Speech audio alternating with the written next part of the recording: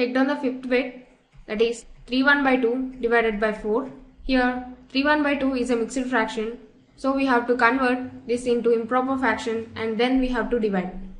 3 1 by 2 can be written as 3 times 2 plus 1 that is 7 upon 2 divided by 4.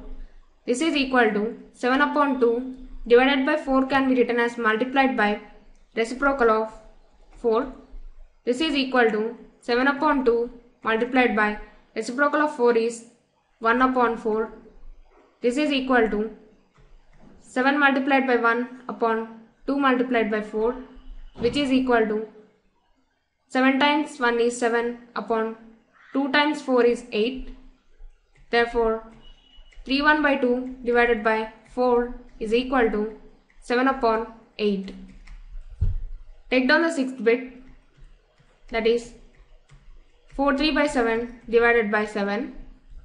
Here 4 3 by 7 is a mixed fraction. So first we have to convert 4 3 by 7 into improper fraction and then we have to divide. 4 3 by 7 can be written as 4 times 7 plus 3 that is 31 upon 7 divided by 7.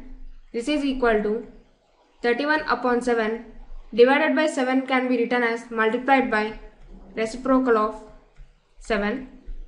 This is equal to 31 upon 7 multiplied by reciprocal of 7 is 1 upon 7. This is equal to 31 multiplied by 1 upon 7 multiplied by 7. This is equal to 31 times 1 is 31 upon 7 times 7 is 49.